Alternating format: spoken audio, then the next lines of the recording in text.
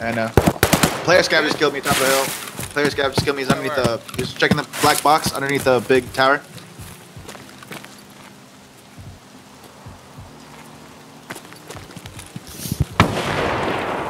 Somebody just fucking killed him too. Dude, three player scabs just went down here.